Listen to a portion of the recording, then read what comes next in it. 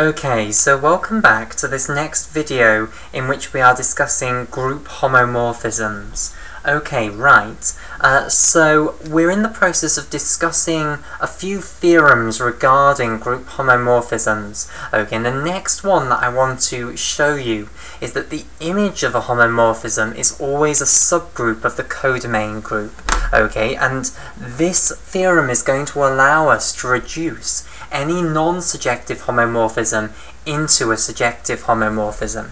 Okay, so the next thing that I want to prove then is that the image of a homomorphism, the image of our homomorphism which we're denoting phi, is a subgroup, okay, which is denoted by this less than sign of the codomain group G prime. So this is the next thing that I want to show then. Okay, so let's just remind ourselves of the definition of the image of a homomorphism. Okay, so uh, in abstract notation, the image of a homomorphism is all the elements of the codomain group G prime which have elements in the domain group G being mapped onto them. Okay, so we can write it like so. It's the set containing all things of the form phi of little g, where little g is an element of big G, basically. Okay, so you go through all of the elements of capital G, basically. Go through every single element that's in the domain group capital G, and take what that element's being mapped onto. Take phi of little g, take all of those answers, basically, and stick them into a set. Okay, and that's what is meant by the image of a homomorphism. Okay, but let's draw a picture for this. So once again, let's say we've got our domain group here. So here is capital G, our domain group. And I'll colour that in in red here. Okay, and then we'll have our codomain group as well, capital G prime here. Okay, and once again we'll colour that in in green. Okay, and then we've got our uh, homomorphism, which is our mapping between these two. Now the image of the homomorphism is the subset of the codomain group that actually has elements in the domain group being mapped onto it. Okay, now of course if the homomorphism is surjective, then the image of the homomorphism will be the entire codomain group. Okay, because if it's surjective, it means that every single element in G prime gets an element in G being mapped onto it. So all little G prime in big G get an element in uh, the domain group capital G here, which we could call little g, okay, being mapped onto it by this uh, homomorphism phi, basically. Okay, so if the homomorphism is surjective, then the image of the homomorphism will indeed just be the entire group G prime. Okay, however, if it's non-surjective, then that means there'll be elements in this um, codomain group, capital G prime, which don't have any elements in the domain group, capital G, being mapped onto them. Okay, and once again, I'll colour in this subset in orange here. Okay, so here is a portion then that I'm uh, supposing doesn't have any elements in the domain group, capital G, being mapped onto uh, the elements in that portion okay, and therefore the image of the homomorphism would now be a proper subset. It would be this portion that isn't highlighted in orange, the set of all things which do have elements in the domain group being mapped onto them. Okay, right, so what I want to prove then is that this subset of the codomain group capital G prime is in fact a subgroup. Okay, so we know that it's a subset. So at the moment what we know is that the image of the homomorphism is a subset of uh, capital G prime, a subset of the codomain group. Okay, but we don't know that it's a subgroup, so let's remember what do we need to prove in order to show that this is a subgroup. Okay, so a subgroup of any old group is fundamentally a subset of that group which, when you take the inherited composition law on the elements of that subset, uh, forms a group basically.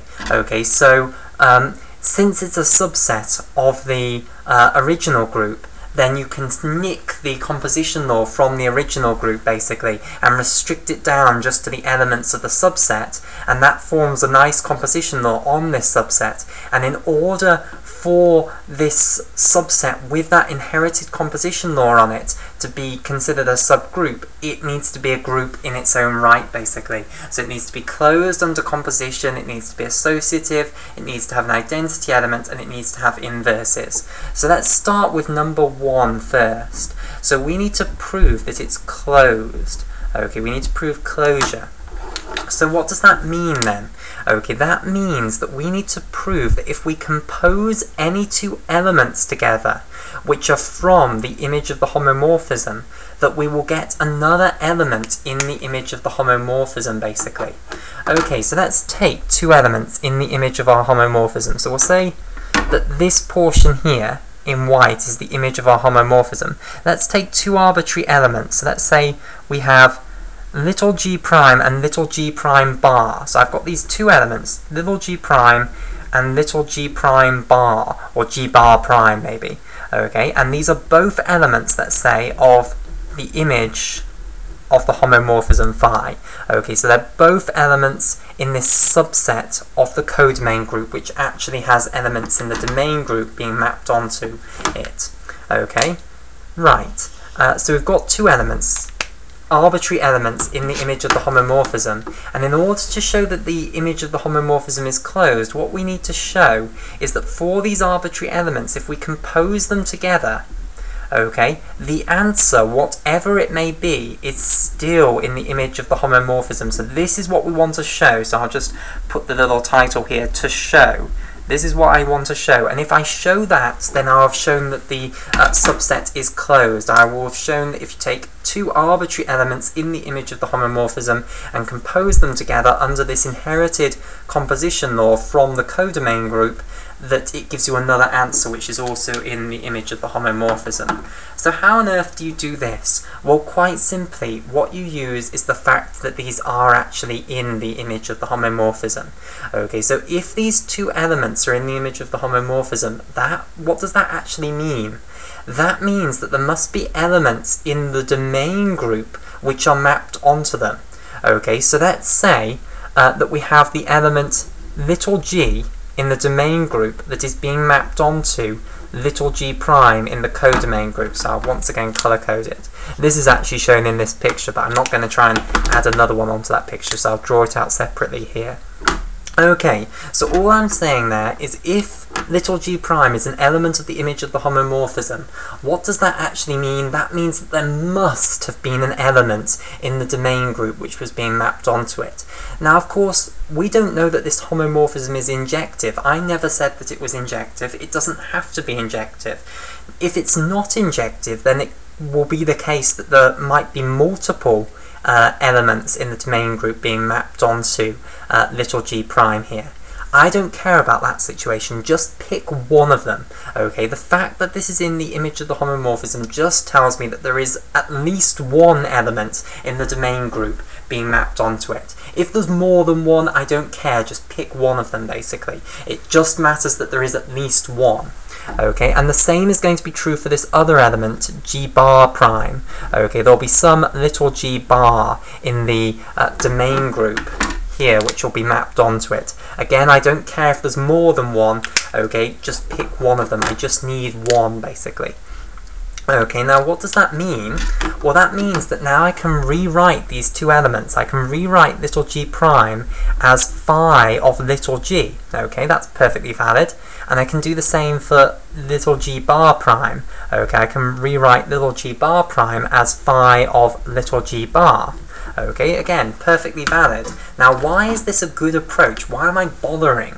Okay, well, it means now that what I can do is rewrite this composition in terms of this. And why is that good fun? Okay, well, we have the property of homomorphism. So let's have a look at this. So now let me substitute in these here.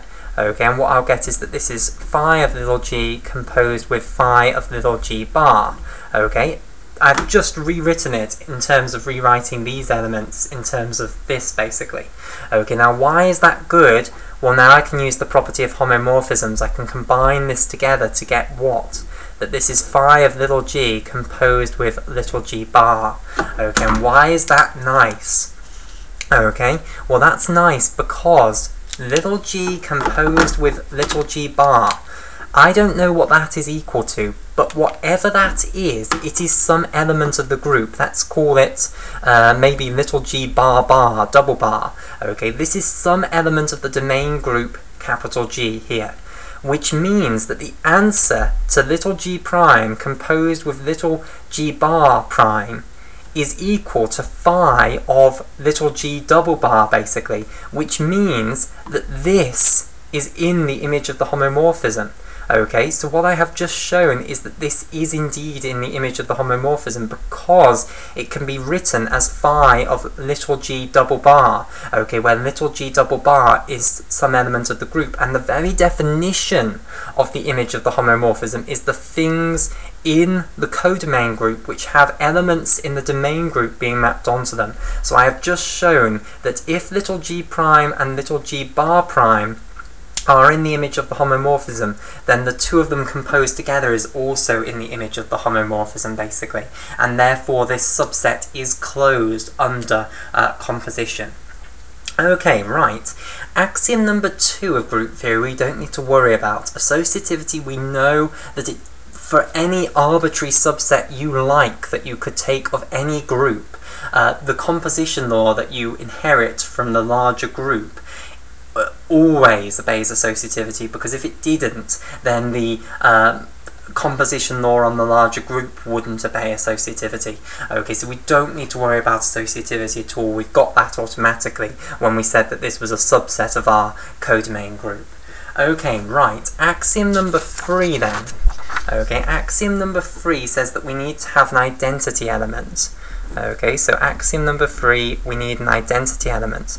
Now, why do we always have the identity element from the codomain group in the image of the homomorphism? Okay, well, we've already answered that.